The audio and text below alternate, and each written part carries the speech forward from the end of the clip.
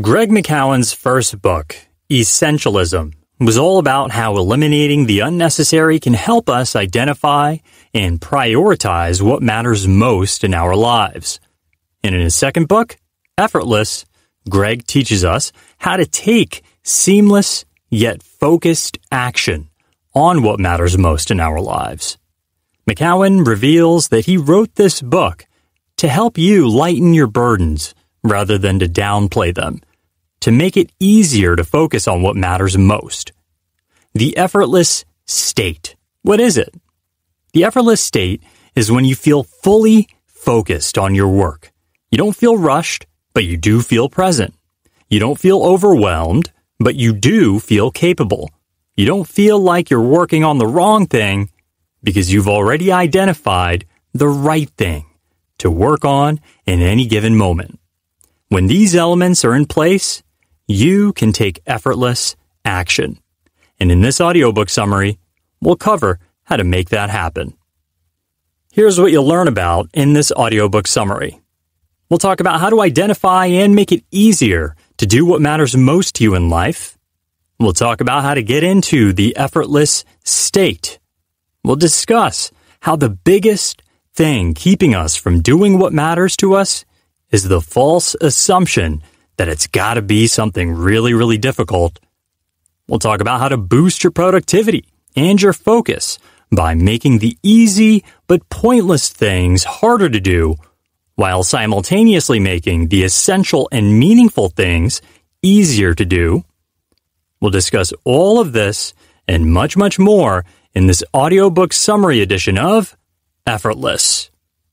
Here is a quick tweetable summary to describe this book in a nutshell. Life does not have to be as hard and complicated as we make it. Simplify and take action. Now, before we dive into the big ideas, here is a crucial quote pulled directly from the book. Our brain is wired to resist what it perceives as hard and welcome what it perceives as easy. Greg McKeown from Effortless. Now, you're ready to dive into the big ideas? Let's get into it with big idea number one. Keep it simple. Most geniuses prosper not by deconstructing intricate complexities, but by exploiting unrecognized simplicities. That's a quote by Andy Benoit from Effortless, written by Greg McKeown. Now, as human beings, our instinctual perspective is that important and high impact tasks have got to take a lot of effort and a lot of time, while tasks that take little effort have little impact on our lives. Just not true. But still, we human beings we tend to criminally underestimate the effectiveness of smart work while overvaluing hard work, considering it the only method to achieve the results that we're after. We continue to subconsciously accept that the hard way is the right way, which might actually do more harm than good. Naturally, our brain tends to favor easy tasks over hard tasks. We've got a bias to act on what's easy and this bias is also called the principle of least effort. The human tendency to take the path of least resistance to achieve what we want. Now, this subconscious instinct of taking the path of least resistance is what's really propelled the human race forward and guaranteed the survival of our species. Early humans were constantly on the lookout for the easiest way to survive, gather food, and protect their families. Things like this, the pursuit towards the easier approach of doing things, have pretty much always been beneficial for humankind. But how does this fit into your life? Here's an actionable insight to help you put these ideas into action. For this first big idea, keep it simple. Your actionable insights are to first remove complexities. Just take a deep breath and analyze everything that you're about to do before rushing into it. Because a lot of times we're burdened by the self imposed complexities of doing tasks. So figure out the end result that you want to achieve and work backward from there to figure out the simplest and least complicated way to reach your goal or to complete your task. Next, practice what's called effortless inversion. Effortless inversion means looking at situations from the opposite perspective. It encourages asking, what if this could be easy? And then proactively getting good at accomplishing things by putting in less effort. For example, in addition to asking a question like, how do I become financially independent? You should also ask yourself, how do I not become financially independent? Because setting up your questions in this way encourages you to look at what you need to do and what you need to avoid in order to achieve your financial goals or any other goal for that matter. Effortless inversion. It's all about examining your problems from opposing angles, which comes in handy when you want to avoid big mistakes that could keep you from achieving your goals. Big idea number two focus on what you have. Quote Gratitude is a powerful, catalytic thing. It starves negative emotions of the oxygen they need to survive. It also generates a positive, self sustaining system wherever and whenever it is applied. End quote. Expressing gratitude is really one of the best ways to get closer to your effortless state. And again, the effortless state is a state in which you are physically rested, emotionally unburdened, and mentally energized. You're completely attentive, completely present, and totally focused on what's important in that moment. You're able to do what matters most with ease. Now, there's a concept in the field of positive psychology known as the broaden and build theory, which McKeown mentions in the book. And this theory suggests that cultivating positive emotions, happiness, anticipation, deep interest, joy, etc., can broaden your awareness, encourage creative thinking, build resiliency, and generally just help you develop a higher sense of satisfaction and well-being in your life. For example, when you're feeling an emotion like joy or cheerfulness, you're more likely to smile and chat with random people, which may end up leading to a friendship. When you're feeling curious, you might pick up a book, which might lead to expanding your knowledge about a new subject, which might lead to new ideas, which might lead to a new business idea, which might end up changing your life completely. Broaden and build. Basically, positive emotions lead to positive actions, which can lead to a higher quality of life. Now, on the flip side, negative emotions, like stress, which we've all experienced, can make you feel more likely to take actions that feed that cycle of negativity unless you catch yourself and break the cycle, which brings us back to gratitude. To put it another way, what you focus on will expand. If you focus on what you have, then that will expand. If you focus on what you lack, well, you'll end up with more of that. Practicing gratitude for what you have on a regular basis is one of the best ways to get yourself in that positive, upward cycle of the broaden and build theory.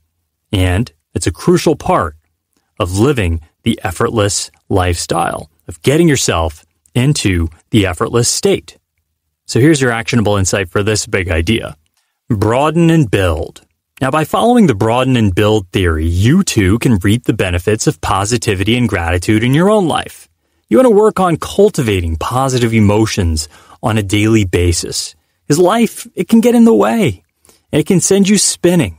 But if you catch yourself and remind yourself to be grateful for what you do have rather than what you do not, you can quickly get yourself back on track. Positive emotions open up new doors of possibility for us, whereas negative ones close those doors. Next, let go of grudges.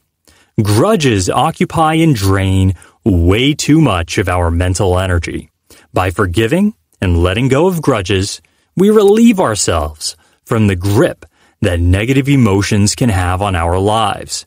And we end up being able to focus more on the things that we truly care about. Next up, quit complaining.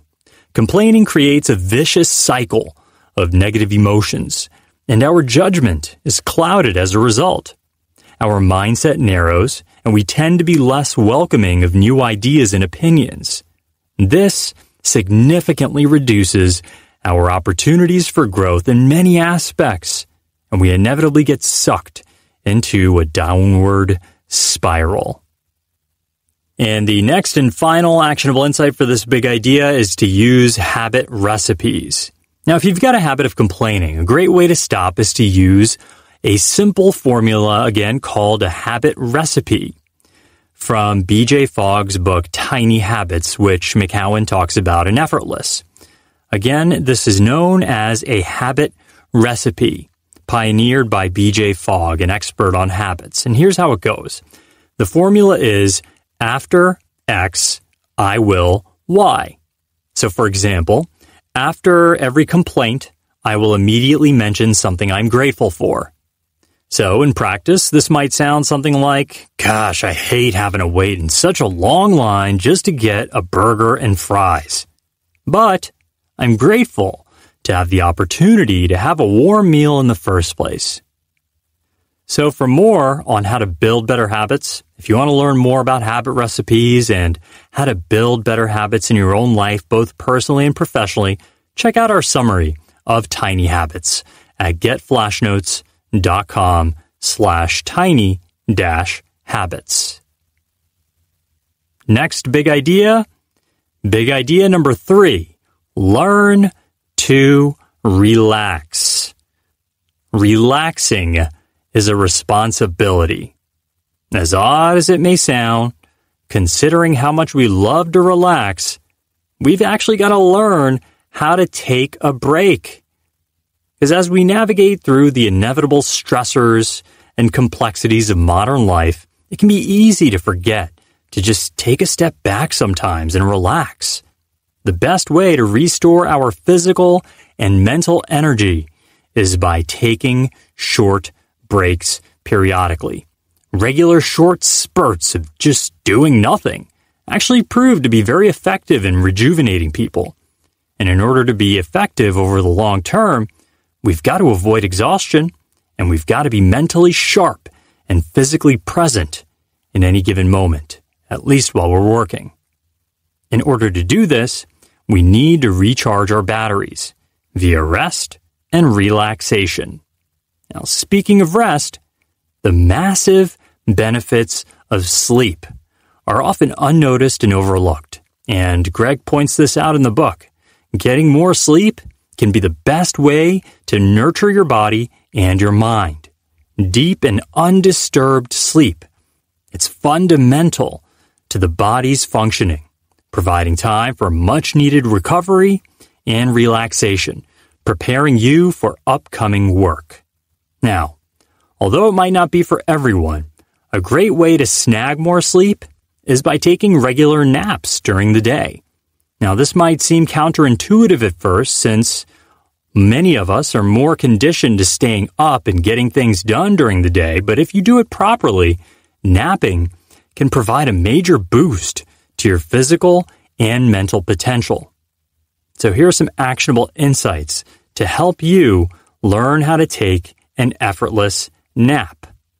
Now, when you have sensed that you've reached a saturation point in terms of focus, you want to step away from your work and put yourself in a calm state of mind by taking a few slow, deep breaths. Block out any light and any noise to help you relax a bit. If you put on some calming music, then set an alarm and try falling asleep. In the meantime, resist the thought that you've got to be doing some work. Avoid feeling guilty because the nap is only going to better equip you for the tasks that you've got ahead anyway. So get that nap in. Let go of the work. Let go of the projects you've got on your mind. Put your phone away or turn it off. Put it on Do Not Disturb. And get a solid nap in. 10 minutes, 15 minutes, 20 minutes, that's ideal. Not too long, just a short power nap to re energize you, to recharge your batteries. And the first few attempts that you make at napping, especially if you're not a napping person, if you don't take naps, it could be really challenging, maybe even worthless. But like any other habit, it gets easier to take planned naps with practice. You eventually learn to take effortless naps without guilt, and you'll reap all the benefits of having done so. Big idea number four just start. Quote, the first action may be the tiniest, easiest to overlook thing, but it's surprisingly fierce. Unquote. Far too often, people think too much of a particular task and end up stopping even before taking the first step. As the saying goes, the journey of a thousand miles begins with a single step. The most difficult step towards progress is the first. Again, the biggest obstacle, regardless of what you're working on, is often the reluctance to take that first step. This resistance in getting started is arguably the biggest challenge to progress in anybody's life. Now, the sole purpose of the first action or the start, as McKeown calls it, is meant to get you acquainted with the activities that will slowly and seamlessly merge into becoming part of your routine. Just the act of taking the first step can have an incredibly positive impact on your progress, no matter how small. For example, committing to reading the first page of a 600 page book, well, that's considered a start. So here are your actionable insights for this big idea. First, focus on taking the minimum viable action. This is the action that provides the maximum amount of learning or results with the least amount of effort. Breaking down the first step into small actionable tasks makes it easier and more likely for us to take action. Think of the case of Reed Hastings, the co-founder of Netflix. Hastings had originally envisioned Netflix to be this great undertaking reliant on technology that didn't even exist at the time. But instead of getting lost and building a complex model based on assumptions of the progress of the internet and where it might be, he decided instead to find the most practical way to take action on his plan, which was to simply mail himself a CD through snail mail to see if it would be a sensible option to get started with. And, well, we all know where Netflix is today. Next, the power of two and a half seconds, 2.5 seconds. In the book, McKeown shares studies that found that the typical human attention span is actually only 2.5 seconds.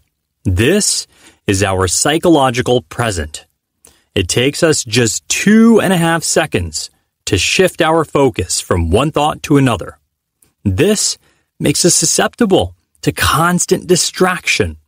And social media companies capitalize on this all day long, enticing us down distraction loops that last hours by producing bite sized pieces of content.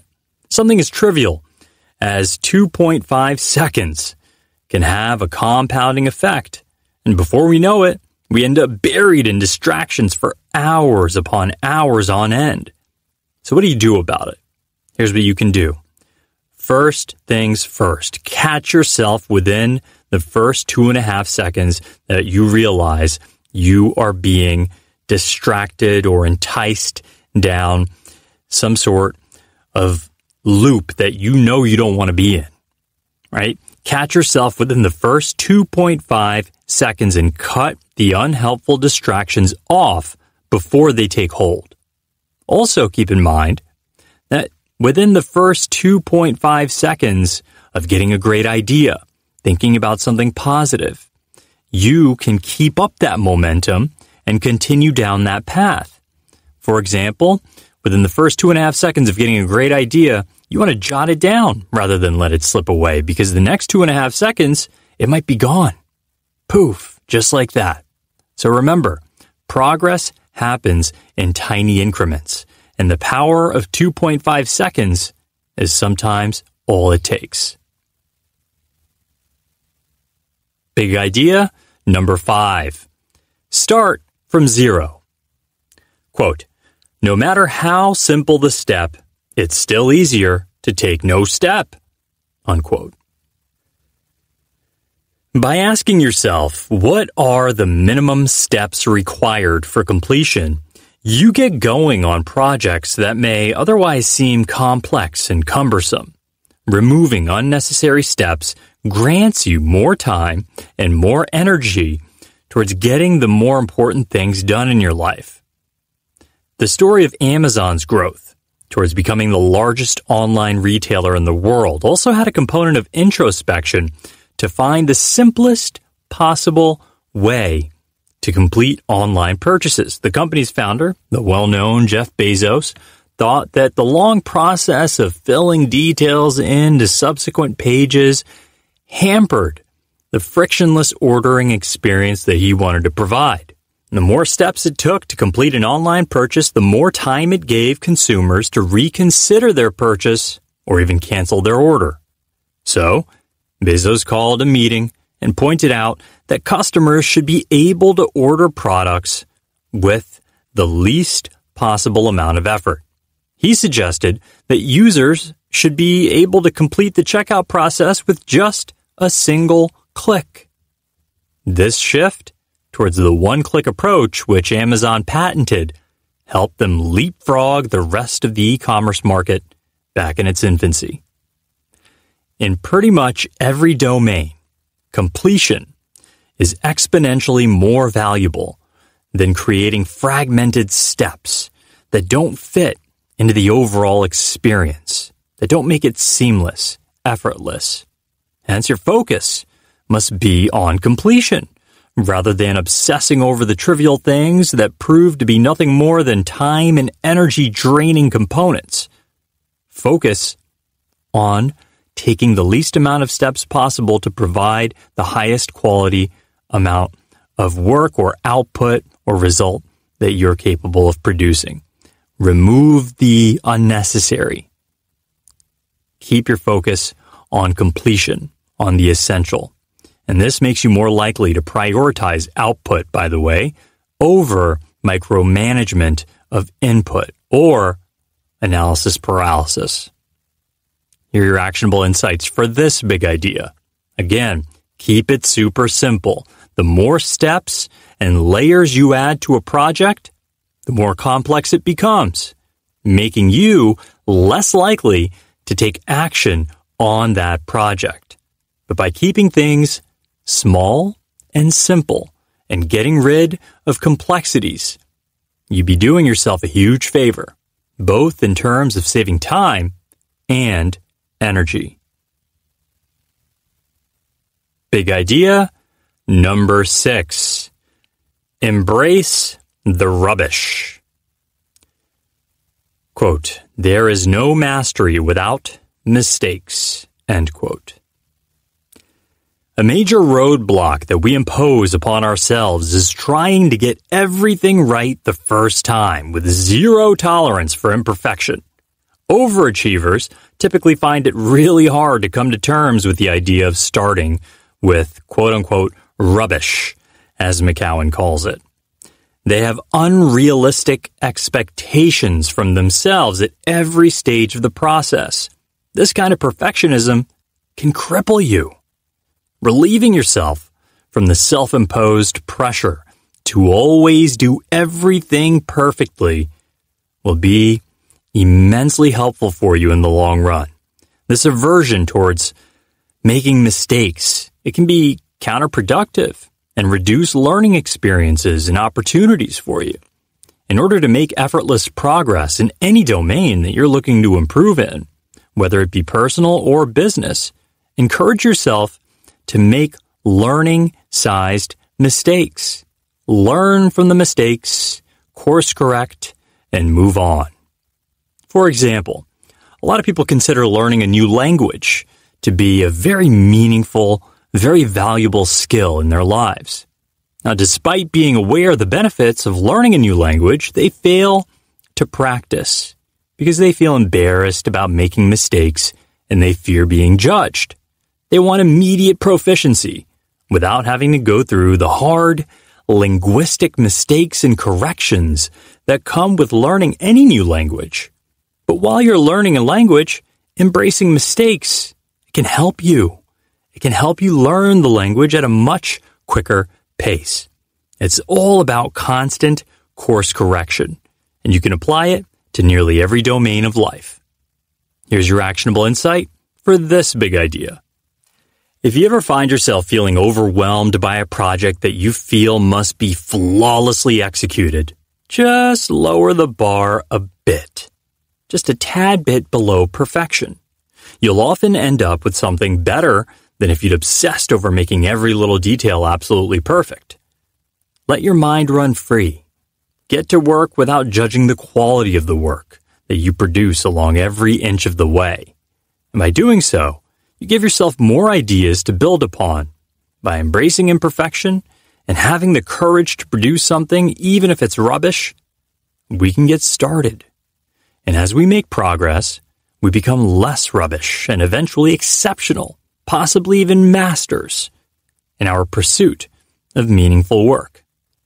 Progress made with rubbish is much better than no progress at all, as it can eventually end up providing you with the direction for something remarkable.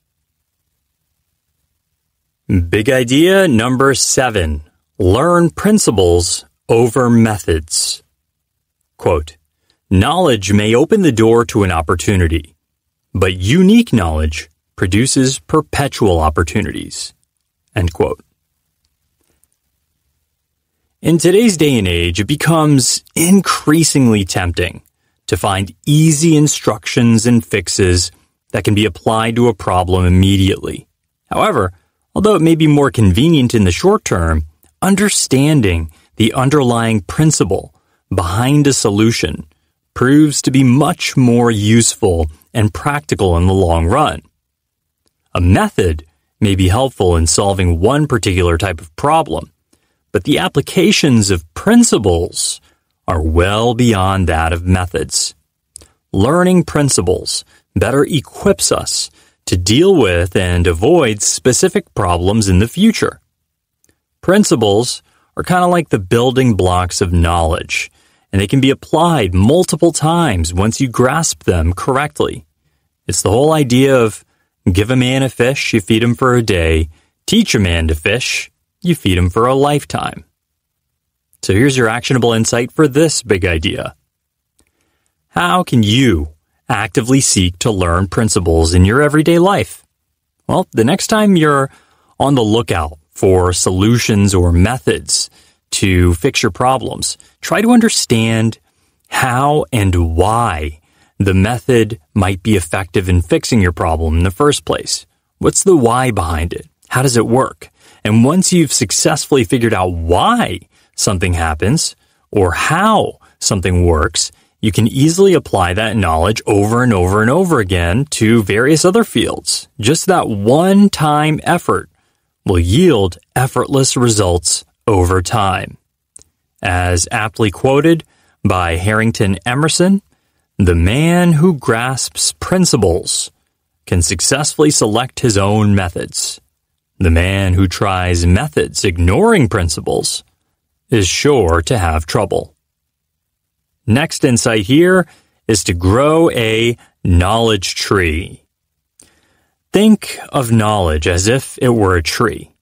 Take time to understand the principles, which you might think of as the trunk and the big branches on a tree. Once the trunk and big branches, i.e., the principles, have been grown, metaphorically speaking, here, the details, kind of like the leaves, are more likely to find branches to hang on to. So just like how a tree can support the growth of new branches as it grows thicker and stronger, Our brains can similarly grow connections, embedding new information into our existing foundation of knowledge. Elon Musk, the founder of Tesla and SpaceX, is a great example of somebody who fully utilizes the brain's ability to learn and process new information. Musk's everlasting quest for the fundamentals has helped him revolutionize the energy industry, design a system for Hyperloop travel, and launch his own aerospace company, among many, many other accomplishments. He is an extraordinary example of how, by just simply understanding things at their most fundamental level, extracting the principles behind how something works, and then applying it, repurposing it, looking at it from different angles. By understanding these things, we can apply them in new and surprising ways. Next insight here is to learn the best of what others have figured out in other fields. Often, the best ideas may result from combining existing knowledge in a field with newfound inspiration from other disciplines. This exchange of ideas across disciplines has the potential to lead to breakthrough discoveries. Next insight. Read books. Books may arguably be the most effective way to learn the best of what others have figured out through their own experiences. They provide a condensed description of all the major learnings of an individual's lifetime. Reading books, or book summaries, is one of the highest leverage habits that you can develop. Here's how to get the most out of what you're reading. First, use the Lindy rule, which basically states that the older a book is, the more likely it is that it'll survive in the future. So look for books that have lasting power, books that have been around for a while. Next, read to absorb and not just for the sake of it. Fully immersing yourself in a book is more effective and it makes you more likely to retain information. Next, take notes. Jot down your takeaways at the end of every chapter. Write down what you learned after you're done. This process helps us turn information into understanding and understanding into unique knowledge. The next and final insight here for this big idea is to take the road less traveled. Being good at something nobody is doing is better than being great at something everyone is doing. Being an expert in a relatively uncommon domain is far more valuable than being proficient in a saturated domain. Focus on building unique knowledge specific to your area of expertise. Knowledge may open the door to an opportunity, but unique knowledge produces perpetual opportunities. Gaining unique knowledge may be intensive, and it may be effortful. It might demand dedication and effort over a long period of time, but once the initial work required is put in, once you've put that sweat equity in, you create something invaluable, which attracts opportunities for the rest of your life. Big idea number eight leverage trust to get residual results. Taking a little time to build a foundation of trust is a valuable investment in any relationship. It's a lever that turns a modest effort into residual results. The best way to leverage trust is by selecting trustworthy people to be around. Having trust in your relationships makes it much easier to maintain and cultivate them. And at work, hiring someone trustworthy starts with hiring someone honest and diligent, someone with a strong moral compass and a sense of accountability. A person who's conscientious is more likely to uphold a high ethical standard, even when no one's looking. Hiring the right person, it's a vital decision that produces effortless results time and time again. Choosing a trustworthy candidate is invaluable and makes it much easier to fully reap the benefits of effective delegation if you do it right. Here's how the famous investor Warren Buffett finds the right candidates to hire at his firm Berkshire Hathaway. To determine who's trustworthy enough to hire or work with, he looks for integrity, intelligence, and initiative.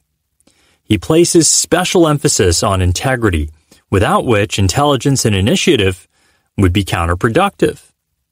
Bottom line, who we hire is an extremely crucial decision with great consequences in the long run, either positive or negative. Each new hire may influence future hires, eventually shaping the workplace culture over time. So, your actionable insight here is to create a high trust agreement. When you're leading or managing others, a high trust agreement is where expectations are clearly defined in advance. Goals are shared, roles are properly delegated, and the right results are prioritized and rewarded. This type of well defined agreement is preferable because it saves us from a lot of uncertainty and disappointment in the future. Taking time early on to clearly define roles and goals is helpful.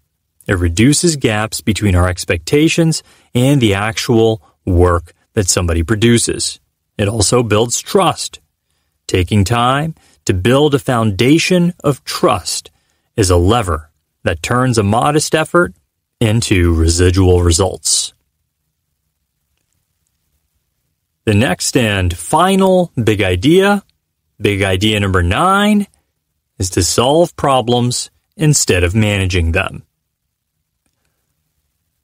Are there any recurring problems or frustrations in your life or work? Rather than simply hacking away at the branches, try striking at the root. Now, since it usually takes less time to manage a problem than solve it, we get used to little irritations that we don't see as problems worth fixing right then and there. But in the long run, the time and effort it takes to manage problems is much higher than just solving them at the root. The initial investment of time and effort that you put into solve a problem, any given problem, can save you a lot more time, effort, energy, and resources in the future. Managing problems is like hacking at the branches. In order to prevent problems before they arise, focus on striking at the root. The earlier you identify a problem and solve it, the more likely you are to avoid a difficult situation. Your actionable insight? So, how do you start solving problems instead of managing them? Find problems that irritate you repeatedly and figure out how easy or difficult it would be to solve them sooner rather than later. Make a list and look for small actions that would make life easier for you in the future. The goal here is to find the most annoying problem that can be solved in the least amount of time. Closing notes. The key takeaway here from effortless is this.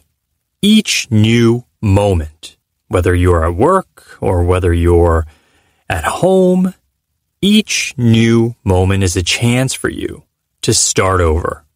It's a chance for you to make a new choice. Your actionable insights? First, keep it simple. Remove complexities because this makes you more likely to accomplish your goals. Simplify. Next, quit complaining and be grateful. Gratitude generates a positive cycle and system that makes you more welcoming of new ideas, generally boosts your productivity and overall life satisfaction. Quit complaining, be grateful. Next, focus on solving problems instead of managing them. Again, focus on solving problems instead of managing them.